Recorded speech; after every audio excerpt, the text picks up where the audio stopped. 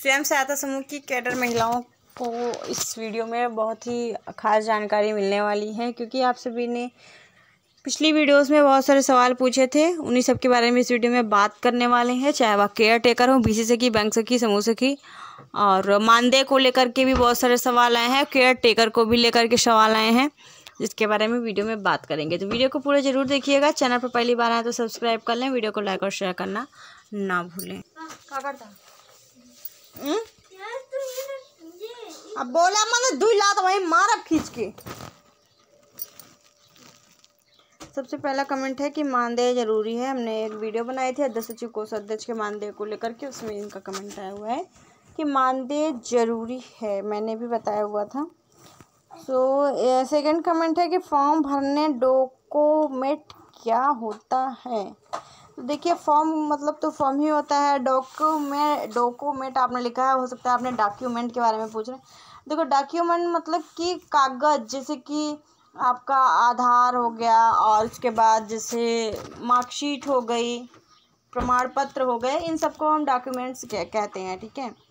बाकी आपने यही पूछा है तो हमने यही आंसर दिया।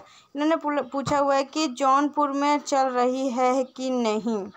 जौनपुर में। बीके की नौकरी के बारे में इन्होंने पूछा हुआ है बुक कीपर की। तो देखिए, अभी फ़िलहाल सभी जगह नहीं है, जौनपुर में अभी नहीं आई है, ठीक। इन्होंने बोला है, मैं तो उत्तर प्रदेश से हूँ। ठीक है। और इन्होंने बोला हुआ है कि जब हम लोगों को लगाया जाता है तो कहते हैं, मीटिंग का पैसा अलग नहीं मिलता। मीटिंग का पैसा अलग मिलेगा। नहीं मिलता है। अच्छा मीटिंग्स का पैसा अलग से मिलेगा नहीं मिलता है। तो देखिए हम लोगों के यहाँ पर ऐसे सिस्टम नहीं है। जितने समूह हैं उसी समूह के हिसाब से समूह सखी को मा, मानदेय दिया जाता है। यानी कि जैसे कि पाँच समूह है तो एक समूह पर सौ रुपये दिया जाता है। उसी हिसाब से अपना जोड़ लीजिए जितने समूह उतने रुपए ठीक। बाकी ये सिस्टम यही सिस्टम सभी जगह पर हमारे ख्याल से है। हो सकता है आपके यहाँ अलग सिस्टम हो। इन्होंने बोला है वी नौकरी के उत्तर प्रदेश में भी है या एमपी में है? अच्छा तो मैंने समूह की महिलाओं की सेना बनेगी, इसके बारे में मैंने बताया था। तो देखिए, केवल मध्य प्रदेश की ये योजना है, नौकरी नहीं है, योजना है, ठीक है? इन्होंने बोला, हेलो, सावित्री कुमारी। मैम, हम भी बैंक से ही यूपी मेरठ से हमें भी मिले फ्री स्कूटी योजना का लाभ। अच्छा मेरठ यूपी से हैं आप। देखिए, अभी उत्तर प्रदेश सरकार फ्री स्कूटी नहीं दे रही है महिलाओं को। मात्र मध्य प्रदेश में दिया जा रहा है, वो भी बैंक सखी और बीसी सखी महिलाओं को केवल, ठीक है? इसके बाद दीदी अपने यूपी में नहीं है ये योजना, लखीमपुर की उत्तर प्रदेश में मुख्यमंत्री जी केवल भाषण में कहते हैं और कुछ नहीं। बिल्कुल सही कहा आपने, उत्तर प्रदेश में नहीं है। मैंने आपको पहले भी वीडियो में भी बता दिया था, फिर से बता रहे हैं कि उत्तर प्रदेश में नहीं है। ठीक है? समूह की महिलाओं के लिए। और बाद वैसे जो गर्ल्स हैं, जो कॉलेज में पढ़ रही हैं बीएम में जो कर रही हैं लड़कियाँ, उनको फ्री स्कूटी योजना का लाभ मिलेगा। लेकिन सरकार ने ये योजना, उत्तर प्रदेश की सरकार ने लागू किया है। केवल लड़कियों के लिए, महिलाओं के लिए नहीं है। समूह की महिलाओं के लिए नहीं है खासतौर पर। और ये स्कीम सरकार ने बोला हुआ था जब मतलब इलेक्शन टाइम में, लेकिन अभी वो वादा पूरा नहीं हुआ है, ठीक है? देखते हैं कब पूरा होता है कि नहीं होता है। अब भगवान जाने और सरकार जाने, है ना? इसके बाद इन्होंने बोला हुआ है कि समूह में शामिल ज़्यादातर महिलाएँ कम पढ़ी लिखी हैं या अनपढ़ हैं, लेकिन ऐप शुरू करने के लिए यूज़र नेम और पासवर्ड माँगता है। कैसे? सभी के लिए संभव है। तो देखिए यूज़र नेम पासवर्ड आपको अपने ब्लॉग से संपर्क करके पता कर लेना होगा और ऐप को आपको लॉगिन कर लेना होगा वीडियो में देख करके, क्योंकि वीडियोस काफ़ी बनी हुई हैं, हमने भी बनाई थी, नहीं देखा है तो जा करके चेक कर लें। कम पढ़े लिखे हैं तो सभी जान रहे हैं कि महिला समूह में हैं, कम पढ़ी लिखी हैं तो सभी को पता है। सही कहा आपने, एक एक तरफ़ से आपने सही कहा है। बर्बाद कर दिया, बर्बाद कर दिया गरीब महिला वर्ग को। अच्छा। बीसी सखी के बारे में हमने वीडियो बनाई थी कि बीसी सखी का जो पचहत्तर हज़ार रुपये सरकार ने दिए थे डिवाइस के लिए, वो सरकार वापस ले रही है। वही, उसी पर हमने ये वीडियो बनाया हुआ था, उसी पे इन्होंने कमेंट किया है कि महिलाओं को सरकार ने बर्बाद कर दिया। बिल्कुल सही कहा आपने, ठीक ही है एक प्रकार से।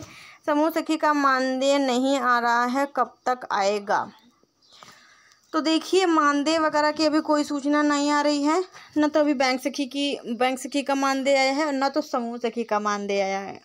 देखते हैं कब तक आता है। उम्मीद है, उम्मीद जो जताई जा रही है कि लास्ट दो हज़ार तेईस तक आ ही जाएगा मानदेय। ठीक है? लेकिन हाँ अगर कोई सूचना मिलेगी कि हाँ इसी मंथ में आ सकता है तो हम ज़रूर आपको सूचना देंगे। या फिर अगर किसी का आया होगा तो भी आपको हम वीडियो के माध्यम से जानकारी ज़रूर देंगे। इन्होंने बोला, धन्यवाद, हम बाराबंकी ज़िले से हैं। थैंक यू हमारा समूह भी है, मैम, मुझे काम चाहिए बट कैसे?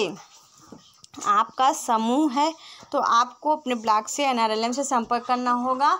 जो भी नौकरी आपको करना चाहती है, उसके बारे में पता करिए कि आपके ग्राम पंचायत में कोई महिला नियुक्त तो नहीं है। उस, नियुक्त तो नहीं है उस पद पर। अगर कोई नियुक्त तो नहीं है तो उस पद पर आप नियुक्त हो सकती हैं, लेकिन ब्लॉक से संपर्क करना पड़ेगा उसके लिए। और समूह में कुछ ऐसी नौकरी है, जैसे बी सी की है। तो बी सी की भर्तियाँ अक्सर नहीं होती रहती हैं। ऑनलाइन इसमें आवेदन होते हैं, मोबाइल से ही करना होता है।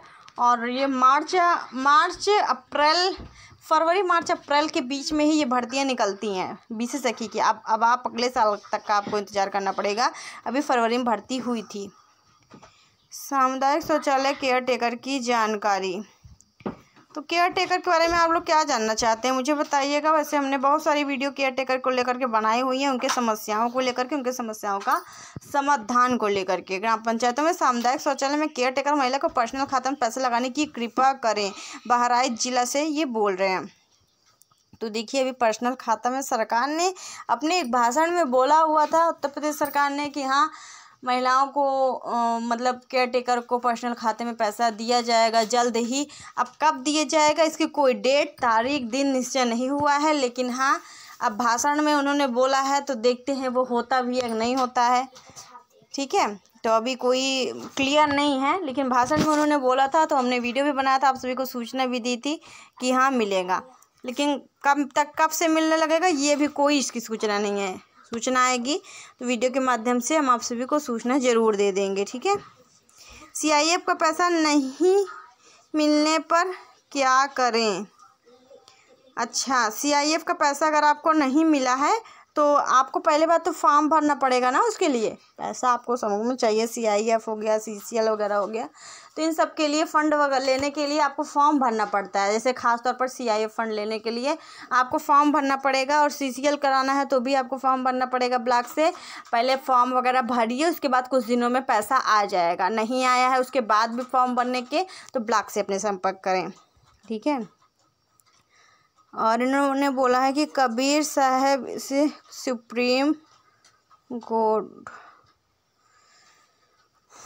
ये योजना सिर्फ़ रायपुर के लिए ही है।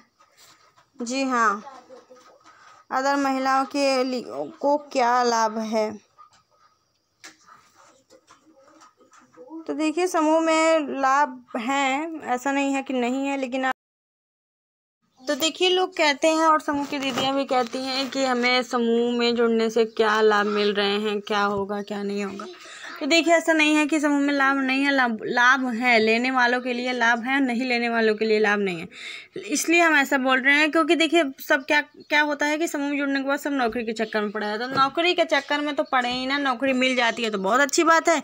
नहीं मिलता है तो आप अपना खुद का रोज़गार करिए, क्योंकि सरकार जब आपको पैसा दे रही है, कहीं आपको मांगने नहीं जाना है, हाथ नहीं फैलाना है तो आप आसानी से समोसे से पैसा लेकर के क्यों ना रोज़गार कोई ना कोई शुरू करे रोज़गार की वीडियोस भी हम अक्सर बनाते रहते हैं अपने चैनल पर कि कम पैसे में कैसे आप रोज़गार शुरू कर सकती हैं समूह में।